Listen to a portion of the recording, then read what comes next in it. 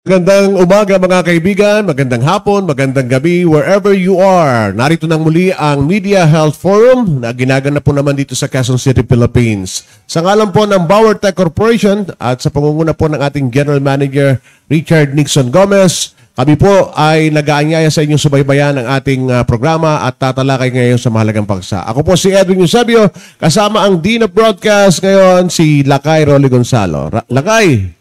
Oh, saan ang mic? Oh. Good morning. Yun. Hindi kami nat- napapagod. Ha?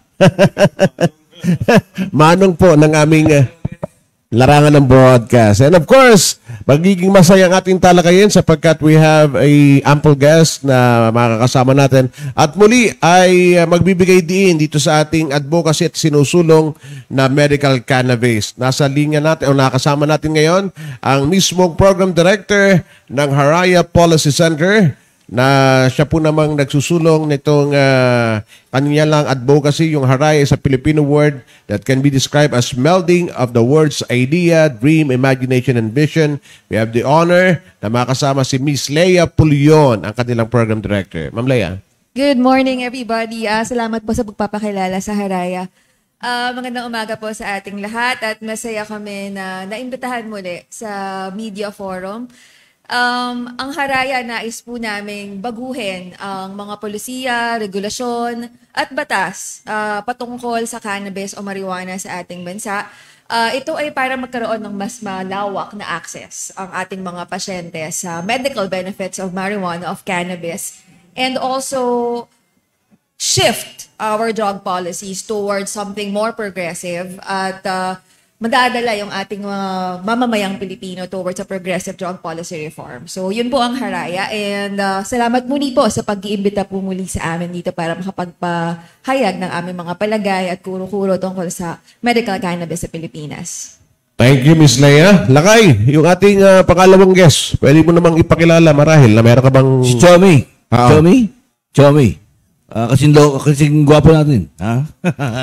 Welcome, Chomi. Si Tommy, ang winner ng X Pac, ano, ng uh, isa sa mga uh, sinusubaybayan natin noon na Fear Factor. Uh, siya ay entrepreneur ngayon at author ng Mental Health Advocate and Cannabis. Jo- uh, uh, Jomi, sir.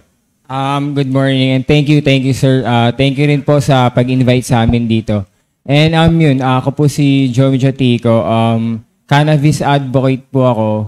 And then mental health advocate dahil po sa cannabis. Um, nilalaban ko dito kaya kami nagsasalita is gamot namin yung marijuana.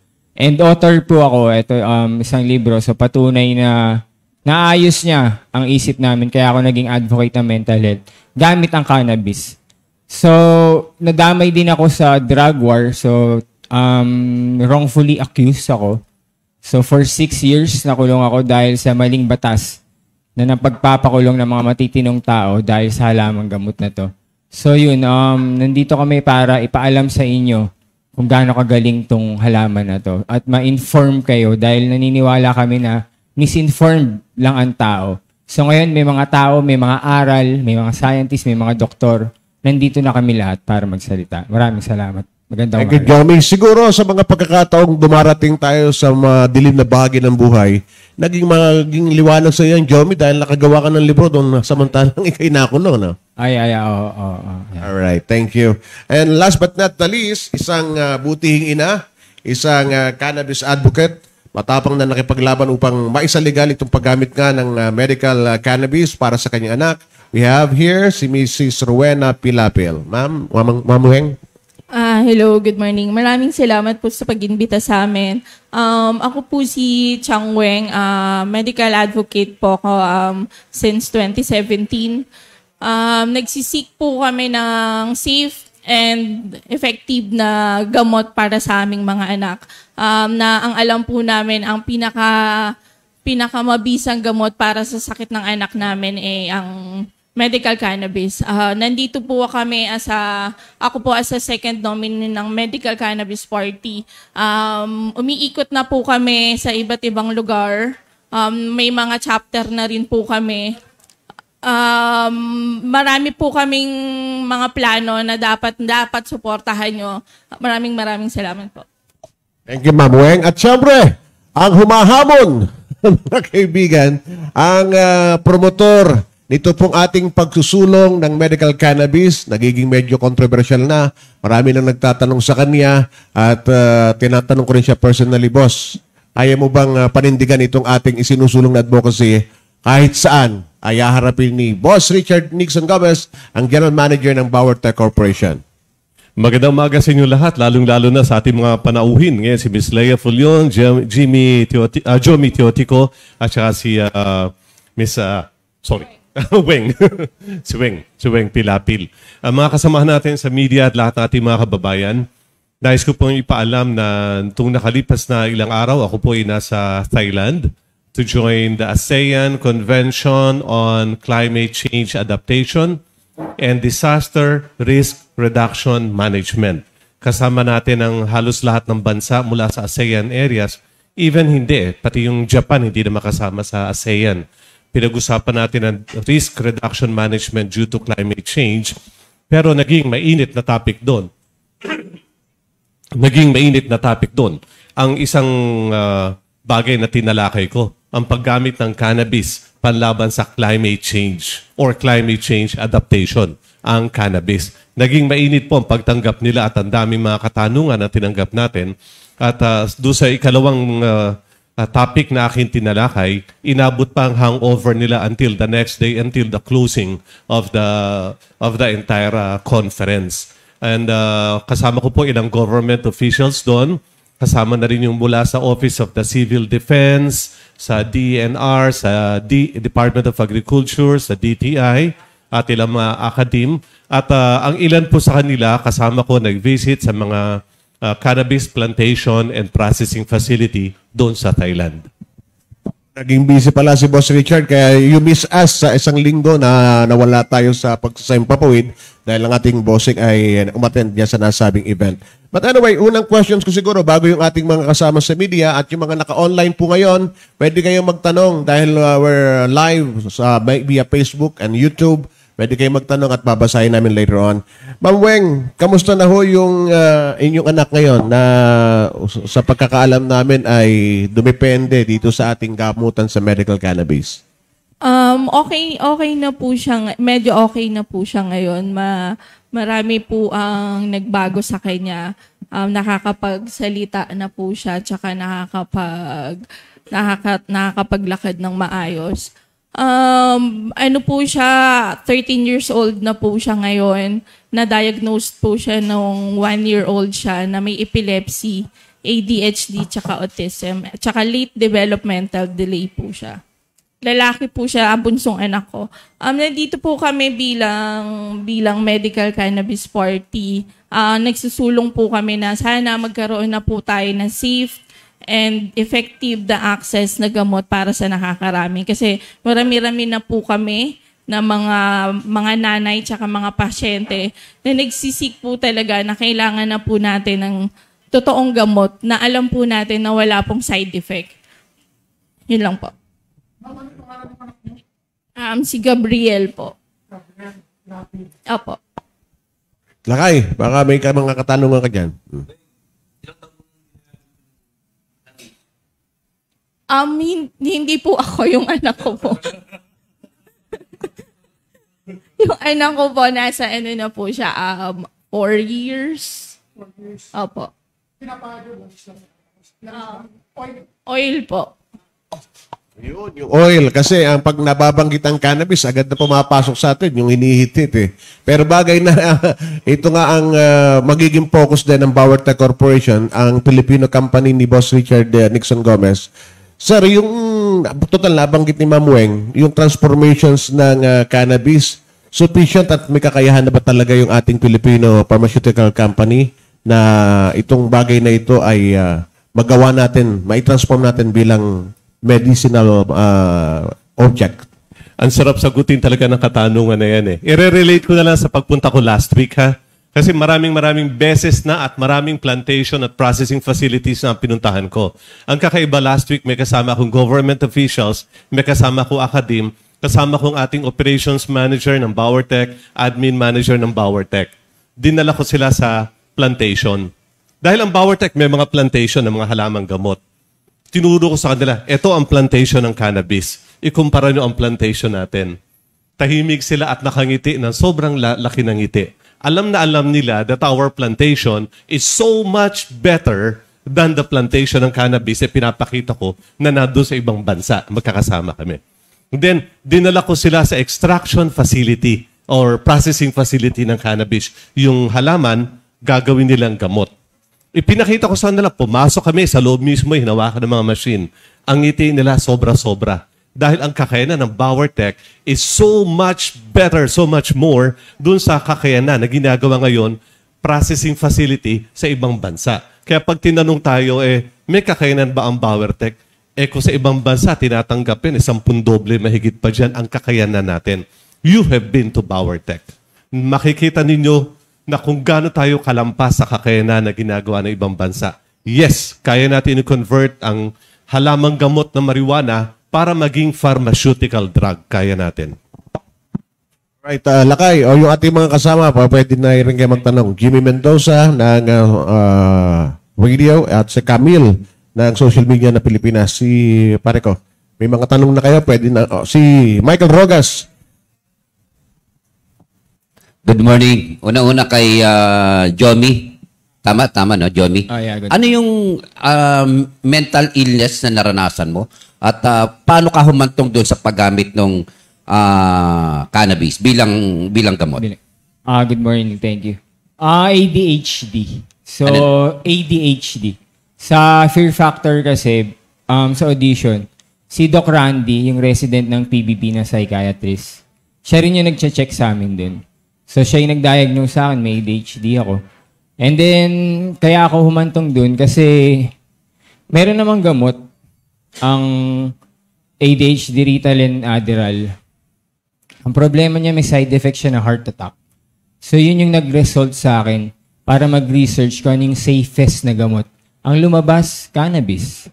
So doon ako nag-research sa sarili.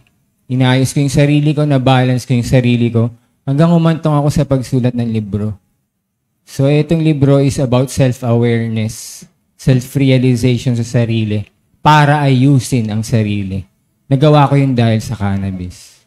Kaano katagal yung proseso nung para sa sarili, pag-aayos sa sarili mo, para sa gayon ay bumalik ka sa ganitong panibagong buhay, ah, at paano mo ngayon tinatanggap yung sarili mo naman na ikaw ay galing sa ganoong nakaraan? Um, years actually. Kasi mahirap. Number one, ano ang mali mo sa sarili mo? Acceptance. Ang hirap alamin ko aning mali eh. Kasi busy tayo sa paligid, sa ginagawa natin. Hindi na natin naintindihan kung anong maling ginagawa natin sa sarili natin. Yun yung oras na meron ako sa loob na sinasabi ko. Six years ako nasa loob eh. Ang dami kong oras para isipin yung sarili ko. Intindihin yung sarili ko. Doon ko naintindihan. Ito pala yung dapat ko gawin sa buhay ko. eh. Kaya ako naging ganito. What do you mean by loob? Napasok ka ba sa Yeah. sa mental actually. hospital? Um, Papa- hindi. No? Um, hindi mental hospital. Kundi kulungan. Dahil yung batas natin, bawal ang halamang gamot dito eh. Na-set up ako. So dahil na-set up ako at napunta ako sa tinatawag nating bulukan na, si- na kulungan na korte, puro reset. So, so, so ang- dami naming ganun sa loob kaya ako nagsasalita dahil hindi effective ang drug war. Hindi, hindi effective tong pagpapakulong sa tao na paglabas hindi nila alam kung anong gagawin nila. Ni wala nga kayong mga programa sa mga taong nakukulong eh. Kami pa rin yung nag-iisip nun hanggang ngayon eh. Ngayon yun yung ginagawa ko, tinutulungan ko yung mga kosa kong nasa loob. Bibigyan ko sila ng livelihood program gamit ang Medcan. Y- Doc Richard, ito po yung mga testimonya ng mga tao na gumamit po ng marijuana. Ang iba ho sa kanila o karamihan ho sa kanila na nandito ngayon, naging madilim ang nakaraan. Ano ho? Ito po ba yung inyong talagang pangunahing dahilan para ho sa gayon ipanawagan sa ating gobyerno na gawin ng legal ang cannabis bilang medical ah, ah, content ano ho? para ho sa gayon hindi na naaabuso yung ganito pong klase ng mga pangyayari, Doc? Dalawampung taon na ako mahigit na gumagawa ng mga halamang gamot. Halaman, ginagawa kong gamot. Ang totoo naman dyan, lahat ng mga bagay, kapag sumobra, may side effect. Mangga. Maganda ang mangga. Kumain ka ng isang kaing na mangga. Pag hindi ka um, Diabetic. punta sa CR mayat mayat may araw-araw, di ba? Hindi hindi pwede yun. Kumain ka ng saging, masustansya yan. Kumain ka ng isang piling na saging araw-araw, hindi ka rin makakadumi. May side effect yan. Kumain ka ng malunggay, isang kilong malunggay araw-araw, hindi pwede. Magkaka-side effect yan. Tamang, tamang halaman, tamang gamot, tamang gamit, makakapagbigay ng solusyon sa atin. Ang marijuana, ang daming maitutulong yan sa atin. Marami karamdaman kaya niyang gamutin. It must be used properly. It must be used carefully. Makakagamot yan sa maraming karamdaman. Okay. Kay Miss Weng, ah, yung anak ho ninyo ay na-diagnose ng epilepsy from one year old. Kumusta na siya ngayon? Um, ano po siya, nakapaglakad na po siya. Dati po kasi ano lang siya, na, na nakahiga lang, walang eye-to-eye contact. Tapos nung nag-start na siyang mag-take nun, yun, marami yung naging improvement sa kanya. Yung cognitive niya, nakakapagsalita na siya, nare-recognize niya na ako. And ang pinakamasarap doon is yung tawagin kanyang mama at makapagsalita siya ng I love you. Yan ang money can't buy na lagi kong sinasabi at kinikwento ko na living proof po yung anak ko. Nire-risk ko po yung buhay ko kung ano po ako ngayon. Um, para po sa anak ko yun. Ah, Kaya po, ah, sorry. Ma, ma, mahirap po yung pinagdadaanan naming mga magulang sana po pakinggan nyo na kami kasi mahaba-haba na po yung tinahak namin. Um, ilang ilang grupo na po yung napuntahan namin to seek ng legal legal meds for our patient. So, ngayon po nagiging ganito po ako kaano kasi po isa pong malaking kaluwagan sa buong pamilya ang makamit ang isang, alam mong gamot na walang side effect. Long-term side effect. Kasi yung anak ko, for how many years siyang uminom ng pharma meds. May mga long-term side effect po yan na hindi nasasabi ng doktor natin kung hindi po tayo magtatanong. Hindi po nila sasabihin yan. Makikita po natin yan sa mga anak natin, sa mga pasyente natin for how many years silang uminom ng ganyang gamot. Saka, po, si- saka lang po tayo magtatanong, eto po ba talaga yung side effect niyan? Saka lang sila magsasabi na opo. Ganun po. So ako po, nag-seek po ako ng isang gamot na alam ko po, maraming sakit ang anak ko eh. Epilepsy, hindi nakakapagsalita. So every time na iinom siya ng gamot na yan, alam kong may long-term side effect at makakasira sa isa niyang kondisyon. Nung nabasa ko po na eto po yung totoong gamot, kaya po nagsimula ako noon, hanggang ngayon po, nandito po ako. Mara- mala- marami na po at malayo-layo na po yung narating namin. Sa buong Pilipinas actually. Um, simula po nung lumabas kami ni Attorney Henry, nung nag-file po kami ng COC na para, para po sa party list, na sana naman po, kung ayaw nyo po kaming tulungan, gagawa na lang po kami ng batas para po sa amin at para sa buong pasyente, buong Pilipinas, na sama na, sana naman po pakinggan nyo na kami. Kaya po kami nag, meron pong medcan. Uh, nararamdaman natin ang pinagdaanan ni Weng at saka na marami pa mga advocates natin. Kung, di ba, ang totoo naman, kung pwede ikaw na lang ipako instead na anak mo, di ba? Kung pwede ikaw na lang magdusa kaysa sa anak mo eh. Aangkinin na natin. Yun nga lang, hindi pwede sa kanila napunta yung karamdaman. Kaya tayo ay merong responsibilidad. Tayo ay nagsasama-sama sa tulong ng ating mga kasamahan sa media at ng sambayan ng Pilipino. We are doing our best na iparating ito sa mga mambabatas para iparating sa mas maraming mga kababayan natin ng panahon na hayaan gawing gamot ang marijuana para makatulong sa anak mo, makatulong sa iyo, at makatulong sa marami pa nating ipinaglalaban ang medical marijuana. Last question po on my part. Miss Weng, alam namin yung nararamdaman namin yung iyak mo, no? Ganon kahirap ang pinagdadaanan ninyo. Maliban dyan, gaano pa kahirap para sa isang ina na makita mo ang iyong anak ay ganyan ang sitwasyon, pero sa kabila ng meron naman palang available na gamot na pwedeng gamitin, but ang tilaw, ang gobyerno natin ay tila bingi, bulag po sa panawagan ng nakararami para sa ay gawing legal ito. Gaano kahirap at gaano kabigat yun, Miss Weng? Mahirap po at napakabigat. Kasi sa sa mga nakikita ko at saka sa mga nakapaligid sa akin ng mga nanay na hindi ko ganito ka, ka, ka ano na, na nakakakuha at nakaka-access nun sa ng ganong gamot. Um, pagkausap ko sila ang bigat pag nagkikwento sila sa akin na ako nakakakuha, may nag may naka, may nakukuhanan pero yung iba hindi kayang mag-take ng risk. So pa titingnan na lang, kumbaga mag-aantay na lang. So mabigat sa akin bilang parehas kaming ina. Parehas kaming pamilya, parehas kaming nararanasan. So napakabigat, kaya kami nandito, kaya kami nagtipon-tipon ng mga kasama ko na pare-parehas kami ng goal. Na sana naman po, bigyan nyo na po ng safe access lahat po ng pasyente. Kasi hindi na po hindi po namin matatanggap na titingnan na lang namin po sila na unti-unti na lang pong mamamatay. Hindi po namin tanggap yon bilang isang kapamilya at bil- bilang isang nagmamahal. So sana naman po pakinggan nyo na po kami. Ah, kay Miss Weng, ah, Miss Weng, yung, ah, yung oil na sinasabi mo, ano yan? Ah, binibili mo pa ba sa ibang bansa o meron dito para ah, sa gamot ng anak mo?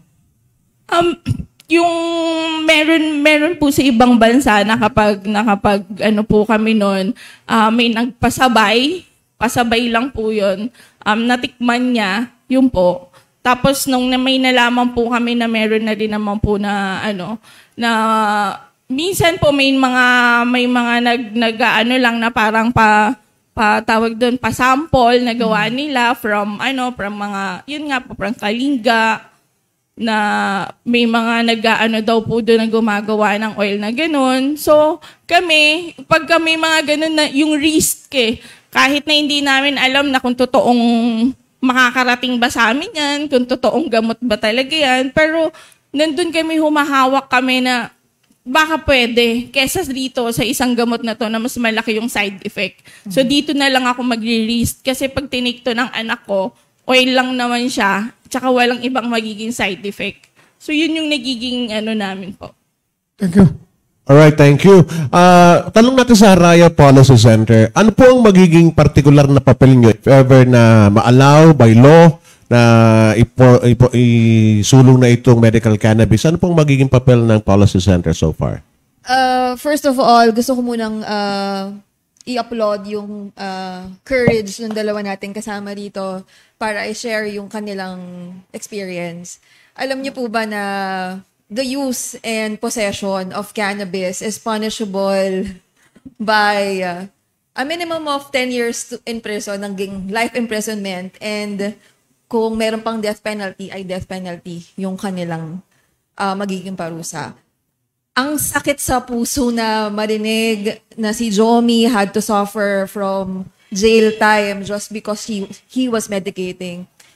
Na, masakit din marinig na si Weng is risking her life and liberty para lang sa anak niya na magkaroon ng lunas ng sasakit.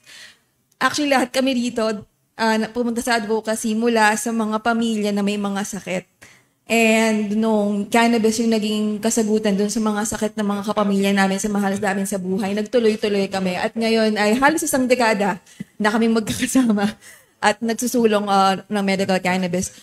So yun yung gustong gawin ng Haraya, ano, um, palitan yung ating uh, mga batas, yung mga polisiya na nag, uh, nag-regulate sa cannabis sa Pilipinas na hindi dapat punitive o masyadong mapagparusa sabi nga nila, yung parusa sa, sa possession at use ng cannabis ay mas masahol pa sa aktual na epekto ng cannabis sa mga tao.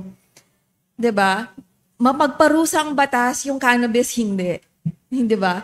Even what they call abuse of cannabis or the adult use of cannabis, recreational use of cannabis will not send you in that kind of predicament. So, yun ang dapat palitan sa Pilipinas, yun ang dapat maging rational, maging sensible na batas sa Pilipinas.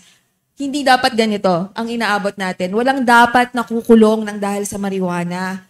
'di ba? Walang dapat inaaresto dahil sa marijuana. Walang dapat drug war against marijuana. So yun po yung tindig ng Haraya and we are working towards that. Our organization are composed of lawyers, uh, educators, and people in the business sector who are working towards changing the policies, changing the law, changing the regulations for marijuana, for cannabis, and help our growers, our producers, our, our local pharmaceutical companies to produce freely and develop freely cannabis medicines for everybody, for especially for Filipinos. So yun po ang aming trabaho ngayon at sinisikap gawin uh, sa kasalukuyan po. Maraming salamat po sa tanong. I receive about 500 text messages or uh, PM every day. Nung Sabado na madaling araw, I receive one message. I will not mention the name. I-close ko lang, sabi niya. Ano, lalaki ang nagme-message sa akin in behalf of his wife. Sabi niya, ano po kaya ang nangyayari kay Blank sa wife niya? Almost two weeks na po, 4 a.m. na natutulog. Lagi sinasabi sa akin, gusto niya ng sleeping pills, di daw siya makatulog. Kung makatulog, sobrang babaw naman. Kagabi, sabi niya, masakit ulo niya. Ngayon, madaling araw, ginising ako, sobrang sakit na ulo niya. Three times na po sumusuka. 1.30 a.m. ginising po. Sobrang lamig ang buong katawan mula ulo hanggang paa. Sobrang sakit daw, ulo hanggang batok. Binasahe ko ang ulo, kamay, medyo nare-relieve ng konti. Yun ang sabi niya. Kung ito asawa niyo, anong maging reaction niyo? Everyday, madaling araw nang lalamig, hirap na hirap. The next day, the next day, nag-message siya. Ang lakas po ng oil, sublingual, 4 drops. 11.30 p.m. nilagyan. Alas 12 ng gabi, hating gabi, naghihilik na. Umaga, ayaw pa bumangon sa antok. Nagpa-blood test pa kanina. Kayo po ba, matitiis ninyo ang asawa nyo, anak nyo, hirap na hirap, nagsasuffer, nanginginig ng lalamig, gabi-gabi sakit ng ulo, nagsusuka, binigyan niya ng cannabis oil, 30 minutes, naghihilik na. Hindi ba solusyon ito sa maraming karamdaman? Sleep disorder or anxiety or probably depression? Actually, isang pang tinitignan ko sa kanya dyan is probably hypothyroidism. Kaya pinatest ko rin na kanyang TSH, T3, at saka T4. In the meantime, 30 minutes, tumalab ang halamang gamot. Ang tanong, Boss Richard, yung cannabis oil, saan galing? Inimport pa niya. Hindi ko tinanong kung saan ang galing. Yun ang pagkakaano. Dapat, pero kaya natin gumawa ng cannabis oil. Kayang-kaya natin gumawa ng cannabis oil. Ang pagkakaiba ng message niya, message 1, Saturday, madaling araw. Message 2, Sunday, madaling araw. Ang laki ng pagkakaiba sa kanyang mensahe. At may result. Alright. Lakay. Pag may kalakay, naka-on air tayo eh. Naka-on air tayo sa Facebook Live. So, Chubby, ang tanong ko eh, anong, ka, anong particular na kaso? Um, nilagay ko sa akin, 11, 12, 15, 16, apat to. So, setup po kasi ko talaga eh. Um, yun, napatunayan ko na sinetap ako. So, wrongfully accused ako. Kaso dahil ganun yung sistema, may mga bulukang korting tinatawag, nag-suffer ako. Wala. Setup. Setup. Nasa kwarto ko, inuli ko. Setup. Maliwanag na setup. Kasama ko yung ex ko. Meron Alright. Kang, meron ka na natatan na ganun kaso? Sa loob? Madami ho kaming ganun. Actually, naka-template ang tao. Naka-template ang pinapasa sa korte. Ganito ang drug war, ah. Pagka hinuli kayo at sinetap kayo, ang mga pinapasa ng mga PO1 o ano man, sa kanila kasi ina-arresting eh. Kasi mayroong kota. So sa kota, nagkaka-point sila. Yung mga sinetap, pagdating sa loob, naka-template sa mga nanalong kaso na nila dati. Nalaman ko yung kasi kami-kami magkakasama ron. Binasa ko yung mga papers namin. Pare-parehas. Iniiba lang ng lugar, iniiba lang. So naka-template. Pagdating ngayon sa sa hearing, dahil ay ayaw mo namang tumagal ka, dahil ganun nga, bulukan, sasabihin ng mga pulis sa inyo, "Ba- ako nang bahala sa inyo, umami na lang kayo, tutulungan ko kayo. So dahil yung sa plea bargaining, na-set up yung tao, ayaw makulong na matagal, naipit sa sistema, iipitin pa uli ng sistema dahil sa plea bargaining. At pagdating ng plea bargaining, may budget na naman dun sa pinag-anuhan yung seminar dun. So lahat may budget, lahat kinukurap, kaming mga tao ang kawawa dahil sa maling batas. Kaya sinasabi namin, palitan ninyo yung maling batas ninyo, kami na yung naaapektuhan. Paano nakalusot yung mga gamot mo doon sa loob? Alin ho? Paano na, na, nakakalusot? Naka ano? Nakakalusot. Ah, nakalus... Ah, pagkain ho eh. Edibles.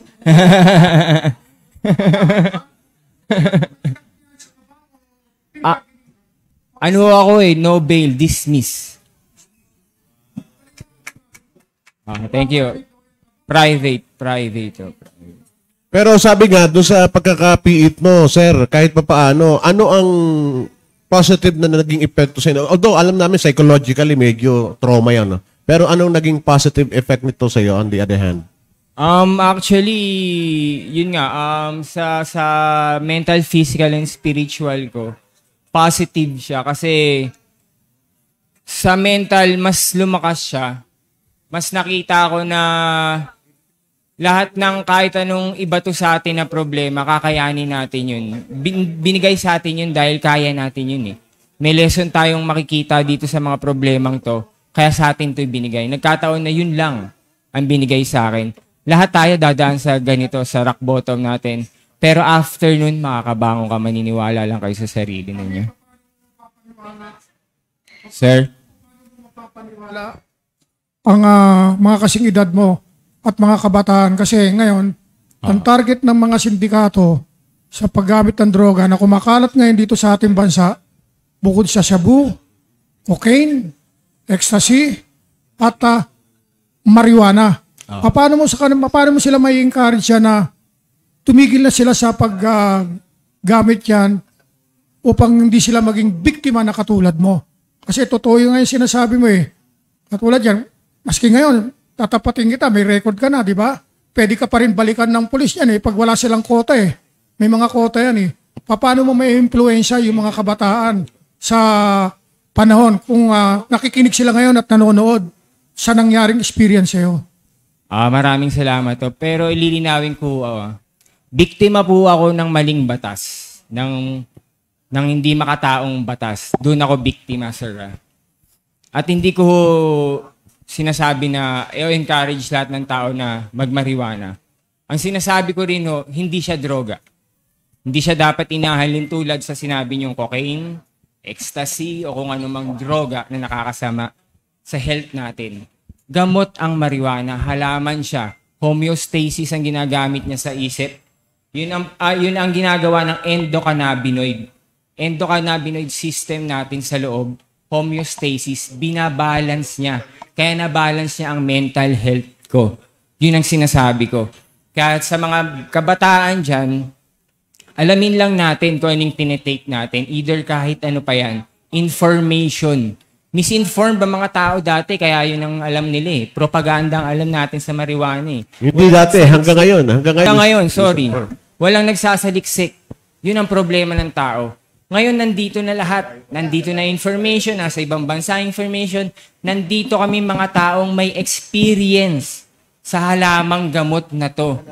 Kami mga taong buhay, totoo, na nagsasabi, gamot ang halaman to. Hindi pa ba prueba yun, sir? Alright. Ito nga yung ano eh, libro ko eh, na na yung mental health ko. Hindi Mm. pa ba pureba yun, sir? Ano po reba po ba ang kailangan natin? May mga doktor, may attorney, may taga-ayos ng batas. Ano ho bang kulang sa atin? Anong hindi ho ba natin matanggap yung pagkakamali natin ng ilang taon? Yes, Joey, paano ma-avail yung libro mo? Para at least mabasa din naman nila. Bago Um, yung announcement ni Boss Richard. May mahalagang announcement din si Boss Richard. Ah, thank you, sir. Ah, sa Google, pwede nyo hanapin Mind of an Altruist Book. Tapos lalabas naman po yung link ng 8 letters. So, yan. Lalabas po dun yung Alright. link ng book. Thank you. Yung buod, yung buod, yung summary. Um, hindi po sa akin, kundi sa lahat ng tao. Self-awareness, self-realization. Para maintindihan nyo kung anong purpose natin dito sa buhay, kung bakit tayo nabubuhay. English, sir. Purpose living life. Ah, purpose po. ah. katulad ng mga biktimas pag gumagamit ng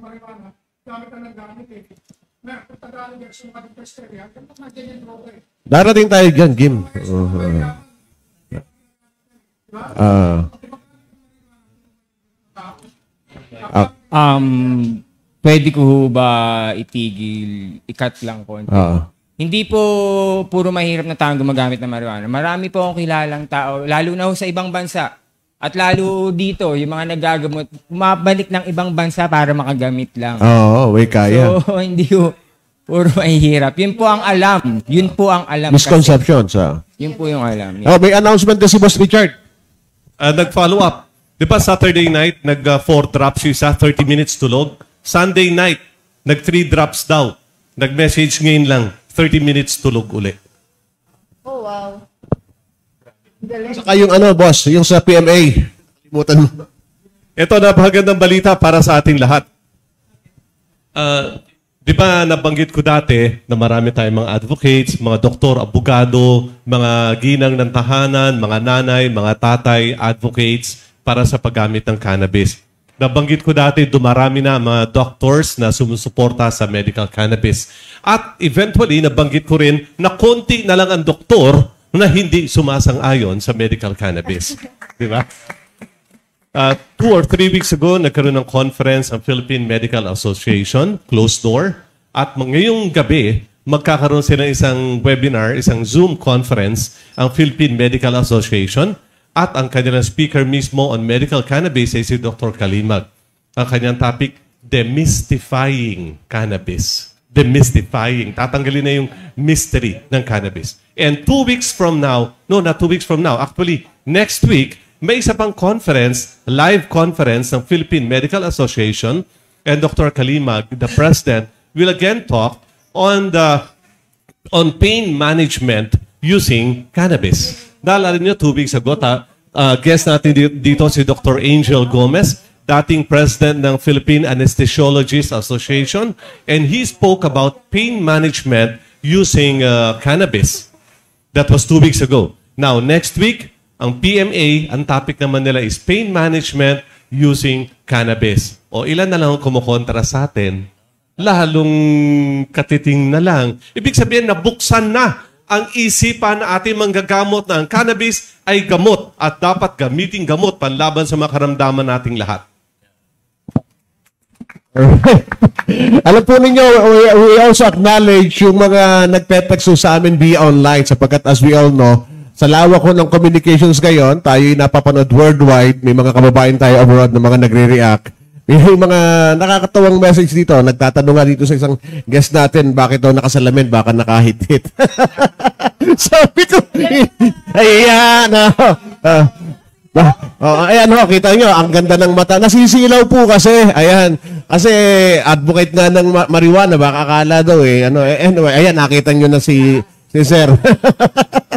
anyway, sabi ni Maris Nepomuceno, sana lang po mabigyan ng ating gobyerno na ah, maging legal ang medical cannabis. Malaking tulong po yan. We acknowledge yung si ah, Nosti Magtira, si Ma'am Nora Pormento, asawa ni Bing Pormento, ah, lakay, kaibigan mo. Eh, siya nagtanong ba't daw nakasalamin si boss. Oo, sa US. Direct, direct from US. Sabi naman, Oo, sabi ni Hilaria Mendoza Delphine, Philippine, let medical cannabis be legalized. We pray for the legalization of medical cannabis. Napakarami na ho nating mga nakikinig ngayon at ah, natutuwa via online. Ha? Boss Richard, ayan, nakikita mo. Mm. Si Ron Padilla, sabi niya, kung sa ibang bansa po ay meron ng medical cannabis, sana po dito sa Pilipinas gawin ng legal ang medical cannabis para sa mga kababayan natin na karamihan ay may sakit na malubhang karamdaman. Sana po ay matulungan natin sila. Ayan. Alright. So, may katanungan nating mga kasama. Hello, good morning po. Ah, bali, ah, sakali po talagang uh, maisabatas itong medical cannabis, ah, ang pwede lang po natin gamitin is yung capsule saka oil. Ang tanong ko po, yung ito bang oil na to ay pwedeng inumin o panghaplas lang? Ang oil na to is uh, to be taken sublingually sa ilalim ng dila. Uh, there are several methods of administration using cannabis. Ang pinakamahinang method nito ay yung panghaplos para sa mga masakit na mga bias at kasukasuan. Pwede rin pala Joints siya. natin. Oo. Pamahid yon.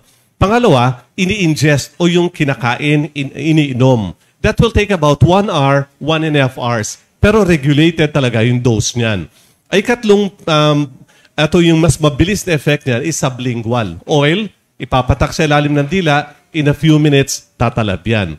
Ang pinakamabilis na epekto niyan ay kapag yung uh, hinit-hit siya, either vape or smoking. Uh, I think in the Philippines, sa, sa ating proposed na Congress, uh, House Bill at Senate Bill, hindi kasamang pag-itip. Uh, capsule at oil lamang. Hindi pa yata kasama rin ang paghaplos. So out of the four, yung 2 and 3 lamang, capsule and oil. Pero talagang nakakagamot po yung ihahaplos mo sa mga masasakit na parte. Ah, okay. Merong ano, uh, boss, nagkaroon yata ng pangit na konotasyon yung paghitit eh. Uh, ever since, di ba? Saka yung usok mo may dudulot. So, sa malinaw yung sinasabi mo na ito ay true uh, capsule and oil. Magugulat kayo, ha? Ah, yes, sa ating proposed bill, capsule and oil. Ang, ang paghitit, pinakamabilis effect niya. In minutes, tatalab yan. Siguro, sa isip ng mga mambabatas natin, baka maabuso. Ako rin, iniisip ko, mahirap i-regulate yung milligrams of THC or CBD that will come in or perhaps other people in the room might also be affected. Pero ito, magugulat kayo. Israel, isa sa pinaka-advanced na bansa na gumagamit ng medical cannabis, 95% ng kanilang prescription is through paghit-hit or smoking. Nire-reseta ng doktor nila.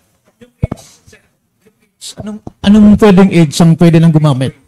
Wala naman, wala Ah, na wala. eh. I-adjust ang dosage para dun sa age or sa weight ng pasyente. Kung mas bata siya, lesson yung ano. Okay. May isa pa ako experience. Ito naman ay para ipakita ko nga lang, sabi ko sa ating mga government officials, sa ating mga kasamahan. Please take note na ating pinag-uusapan ngayon is medical cannabis. Maraming natatakot na mga doktor o mga government officials or ating sa mga mambabatas natin na baka maabuso at magkagulo, maging adik ang mga Pilipino, maging magulo ang Pilipinas. Pinasyal ko sila sa Kausan Road sa Bangkok. Kausan Road, ito yung parang night market nila. Pag nagpunta ka doon, kaliwat kanan, makakabili ka ng cannabis. Hindi ako nagpunta roon to promote yung recreational use, but just to show them. May, may kotse naka-parking. Pagbuksan nila yung hood ng kotse, naka, ano, for sale. Tabangketa, sunod-sunod, cannabis. Ang daming tao, nagka-cannabis. Papasok ka sa parang food court, lahat ng tindahan, cannabis ang tinda. Sa food court, libre kang maghit-hit.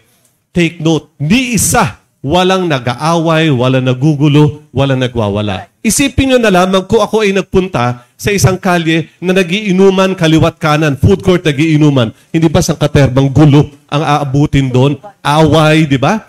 Samantalang kaliwat kanan, for sale ang cannabis, kaliwat kanan, nagitit ng cannabis, lahat sabi, welcome, welcome, join here, sit here. hindi totoo yung sinasabing magugulo, maadik, masisira ang ulo ng mga tao. Mukhang hindi totoo eh. Ibig sabihin ng boss, ay yung calming effect ng uh, cannabis ba yun? Yung calming effect, sa, doon sa, doon sa inyo po. May yung sa CBD po kasi yun yung na, yung pangpakalma lang po. Yun po yung medyo calming po na ano pag tinitake. Pero yung THC po kasi yun yung para sa mga may cancer, para po sa mga may epilepsy. Um, nung, nung nagtitake po siya ng pharma meds niya, um, lima, limang iba't ibang klase ng, ng pharma meds meron siya. Yung isa, yung nakalbo siya, kaya doon na talaga po ako naghanap ng gamot kasi na, na wala po talaga yung buong buhok niya. So, doon po ako nag-start. Tapos po, um, yun po na yung oil, sublingual din po yung tinitake. Dati hindi po siya nakakapagsalita. Yun nga po, ngayon nakakapagsalita na siya, nare-recognize niya na ako. And then lahat po ng nakapaligid sa kanya, nare-recognize niya na. Yung sa pharmameds niya po kasi, ah, meron po siyang side effect na nakakalbo, nananakit, nambabato, nagwawala. Yun po yung mga side effect niya. So, yan po yung masakit na makikita natin na hindi po natin alam eh, side effect po yun ng gamot kasi hindi po nila alam kung paano mag-react sa katawan nila. Lalaki po.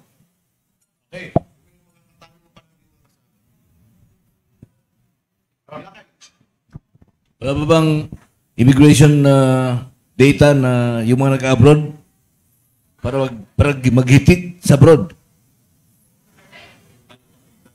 Im- immigration data. Yeah. Yeah, yung mga pumunta sa abroad para maghitik. Kasi bawal dito eh. Uh, first quarter ng 2023, ang pumasok na tourist sa Thailand, 9 million. Ang pumasok sa Philippines, same period, 1 million. 9 is to 1. Bakit sila nagpupunta ron? Hindi ko alam. Ah, Pinanggit ka kanina na kaya minsan yung pasabay na cannabis oil o kaya pupunta kayo doon. Buti nakakalusot yan. Kasi siyempre, kung- by air yan, dadaan yan sa Express Airport. Paano siya nakakalusot at paano ah, dumarating sa Pilipinas? Yan po ang hindi ko na din po alam.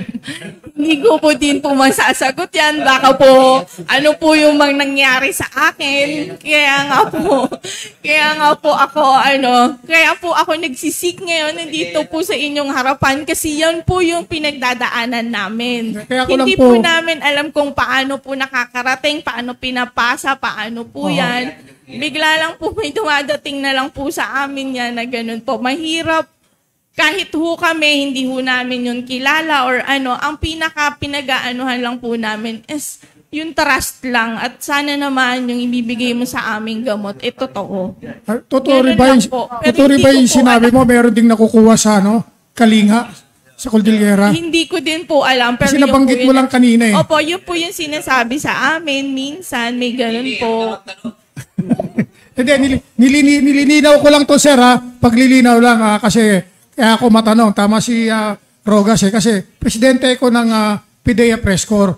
So alam ko yung ah, bawal at hindi bawal. So itong pinag-uusapan natin, hindi pa nare-regulate yung, ah, yung Republic Act 9165 sa Section 21. Talagang pinagbabawal ang marijuana, di ba? So kaya nga na, natanong ko yan kasi sa higpit ng ating ah, gobyerno at ah, talagang nakatatak na sa utak ng mga law, drug law enforcement unit, kapag may pumasok yan, isang sigarilyo lang, isang stick lang, may kulong ka kasi 10 grams ang ah, ang ah, batas ng ah, average ng ah, ng PIDEA na pwede ka nang ah, makulong at no bail recommended. Yun yung ah, nasa batas natin. Kaya inaalam ko. Nice ko lang ah, bigyan ng linaw ha. Bilang isang magulang, si Miss Rowena, at marami pa mga magulang na nagbibigay ng gamot sa kanilang mga anak. Bigyan ko lang linaw. Sila ay hindi bumibili ng pharmaceutical drug. Sila ay hindi bumibili ng branded cannabis. May nagsabi sa kanila, may oil makakatulong sa anak mo. Wala silang kakayanan na ito ay i-testing, alamin kung ano ba itong oil na to. For all we know, baka nga ginagamit sa kanila ay ah, virgin coconut oil. Baka nga ginagamit sa kanila ay ah, maybe yung ah, olive oil. Pero binibili nila at tumatalab sa kanilang anak. Kaya wag natin sila sisihin dahil hindi nila alam eksakto kung ano yung gamot na gina- kung ano yung oil na ginagamit nila. Ang paniniwala natin, ang paniniwala nila ay cannabis oil yon. As to whether it is true or not, the source, how it is made, they don't know. Ah, tu- tuloy Ano yun? may ano lang ako, no? may sasabihin lang ako. At ah, maganda yung ibinalita ni Doc no? Ah, Gomez na dumadami yung sumusuporta. Lalo na sa larangan ng Philippine Medical Association. Ah, lalo na dito sa kongreso natin. Unfortunately, ang kongreso natin ay ah, natapos ang kanilang 19th ah, Congress noong June 4. Kinapos ng oras, alam ko na yung mga sumusuporta ay ah, gusto sanang isulong talaga. No? Anong ngayon ang magiging plano natin considering na sa July na ulit magbubukas ang Congress natin? Ito ay magandang pagkakataon para sa ating mga babatas na lumibot sa iba't ibang mga lalawigan, iba't ibang mga probinsya. In fact, ito ang ginagawa nila ngayon. Magkaroon ng ah, public ah, public consultation. Magpunta mismo sa sa tao. Alamin kung ano kagustuhan nila. In fact, we have an option now to go sa SWS na eh. Either now or three months later para alamin ang public sentiments. Doc, Right, Michael. Yeah. Ah, ta- ah, susugan ko lamang po yung ah, tungkol sa Kongreso. Ano? Ah, hindi, ah, hindi na ho naabutan. Medyo n- n- nabalam na naman itong ating pong panawagan at ang ating kampanya na maisaligal ito pong paggamit ng marijuana bilang ah, sangkap sa paggawa po ng gamot. Ah, marami pong mga urgent bill na nalikha ang presidente nito po ng karaang mga buwan para ho sa gayon ay kakailanganin sa pagpapaganda ng ating ekonomiya. Pero parang wala ho yata tayong nababasa ng mga urgent bill para sa pagpapaganda naman ng kalusugan ng tao. Sa tingin niyo po kaya, Doc Richard, this is the right time na ang presidente naman ng Pilipinas ay gumawa din ng isang urgent bill, certified bill, na dadalhin sa Kongreso na ang ating pong kampanya para sa kalusugan tulad ng ah, paggamit ng marijuana na legal ano sa paggawa ng sangkap ng gamot ay napapanahon na rin, Doc. Ah, kasama sa mga urgent ah, bill na ah, urgent na matters na binigay ng Pangulo natin noong nakalipas na taon na tungkol sa food self-reliance at saka sa medical self-reliance. Unfortunately, hindi pa nakasama doon ang cannabis. Hopefully, itong mga susunod na ilang linggo ay mapunta na makarating sa ating Pangulo ang urgency ng bagay na to. Lalo na, marami ng government agencies ang sumusuporta nito ngayon. Yung mga dating kumukontra ay panipis na ng panipis ang kanilang hanay. Nagigising na sila. Panahon na, gumising na kayo. At uh, eventually, this will reach the President. My uh, personal uh, belief is that by end of next year, halos ito ay uh, maisa sa patas na. Yeah. Doon sa ating po mga advocates, siguro, coming from you, baka naman po pwede kami makahingi ng inyong message for our president. Lalo pa, magsasona na naman siya by July, uh, this coming uh, per, uh, last Monday na July. At haharap siya sa Kongreso, hahanap siya sa mga senador at mga mambabatas natin. Coming from you, uh, can you please uh, make an appeal to our president to make it urgent ito pong uh, bill na ito? Go ahead. Ah, magandang umaga po. Um, presi- ma- magandang umaga po, Presidente. Kami po ang Medical Cannabis Party. Sana po pakinggan niyo po kami. Bilang ako po ay isang ina na meron pong pasyente, matagal na, matagal na po kaming nagsisik ng gamot na safe and effective na alam namin wala pong malaki at mahabang side effect para sa aming mga pasyente marami na po kami, ma, marami na po kaming nagsusulong nito. May mga senior for meds na rin po kami, may mga abogado na rin po kami, at may mga doktor na rin pong sumusuporta sa amin. Sana po ngayon, buksan nyo na po ang isip nyo, na sana po, ibigay nyo na po sa amin ang kahilingan namin na magkaroon po ng medical cannabis dito po sa atin, sa Pilipinas. All right, thank you. Um, yun, um, maraming salamat sa oras na to. Um, yun sa Mr. President, thank you. Um, ah, medyo personal. So, um, yun, ah, wala, wala na sanang madamay sa drug war kasi hindi siya talaga effective. Hindi effective ang drug war. Ang kailangan ng tao na nakasama ko sa loob is tulong. Katulad nitong ginawa namin sa sarili namin. Tinulungan namin yung sarili namin eh. Pero bakit kinabukasan napunta ako sa kulungan? Parang hindi hindi talaga makatao tong batas na to para sa ating lahat. At ayoko nang maranasan ng sa susunod na henerasyon na mayroon pa ring makukulong dahil dito sa halamang gamot na to at inaayos nila yung mga sarili nila. Gusto lang nila mag-relax. Gusto nila matanggal ang anxiety nila. Gusto nila matanggal ang stress nila. Bakit natin kinukulong yung mga ganitong klaseng tao na inaayos ang mga sarili nila? So yun kami nagsasalita na please, hindi to biro, buhay namin yung pinaglalaban namin. Kung ano man perang kinikita ng sistema na yan dahil dyan sa drug war na yan, please, buhay namin. Walang kapalit na pera, na pera to. Hindi to biro.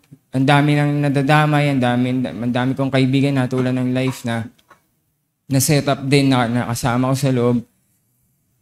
Hindi siya tama. Um, salamat dahil binibigyan nyo kami ng oras katulad nito, open forum. Kasi ito yung kailangan ng mga taong bayan at ito rin yung kailangan na marinig ninyo dyan.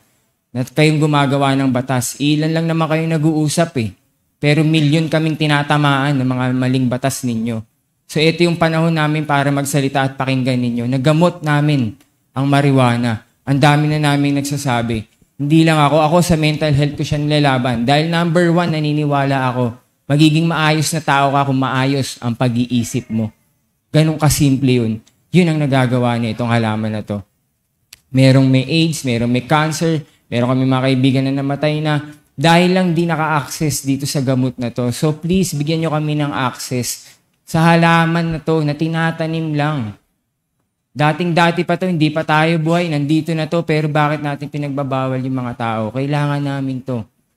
Hindi kami Alright. naglolo ko. Thank you po. Ma'am Lea, Okay. um, there is definitely an urgency in um, allowing people to access marijuana.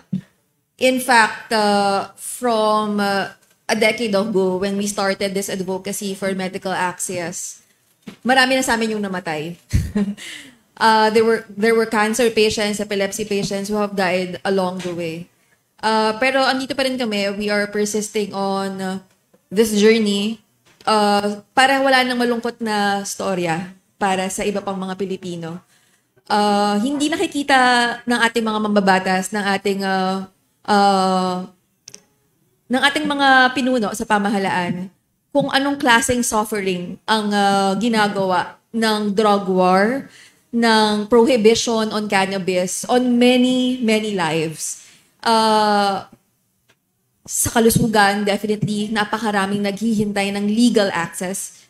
And then, on our jails, napakarami po nating mga kababayan ang nabubulok sa kulungan dahil sa matinding parusa para sa marijuana. This is something as urgent as other bills na pinasa ng kongresong ito, ng senadong ito, at ng uh, administrasyong ito. So we hope that uh, the voices of these people are going to be heard. Um, in uh, Congress, there are seven bills on cannabis. In the Senate, there's also an, uh, a bill on cannabis.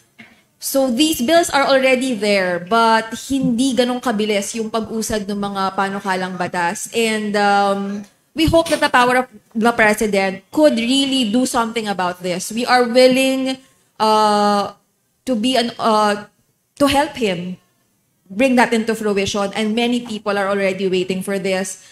The filipino people are ready. Our pharmaceutical companies are ready. And apparently also our medical societies are ready. So i hope that the government is also ready to give us this medical cannabis for all patients walang dapat makulong dahil sa marijuana maraming Alright. salamat po muli sa inyong lahat Thank you po. At yan po yung appeal sa Executive Department. Um, last but not the least, tanungin natin si Boss Richard Nixon Gomez kasi marami ang nagsasabi ano ang magiging economic implications. Yan ang tinatanong kadalasan ng mga mambabatas eh. Can we, uh, kakayanin ba natin kung pinagmamalaki natin, kaya natin mag-produce ng medical cannabis oil or medical uh, product from the cannabis? Boss Richard, as a uh, general manager ng uh, Philippine-owned pharma company, kakayanin nga ba? Medyo mahaba ang sagot ko dyan ha.